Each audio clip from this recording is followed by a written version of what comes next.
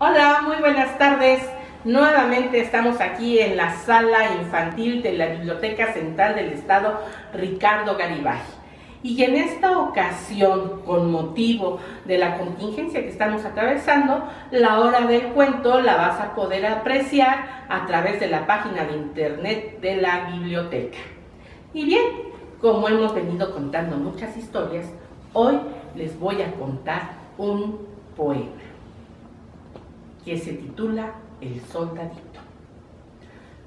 Soldadito, soldadito, ¿de la guerra viene usted? Sí, señora, de allá vengo. ¿Por qué lo pregunta usted? Por si ha visto a mi marido en la guerra alguna vez. O si lo he visto o no lo he visto, dígame las señas de él.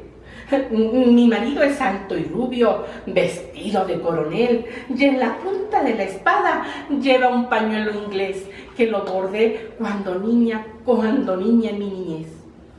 Oh, por las señas que me ha dado, su marido muerto es. Y en su testamento ha dicho que me case con usted.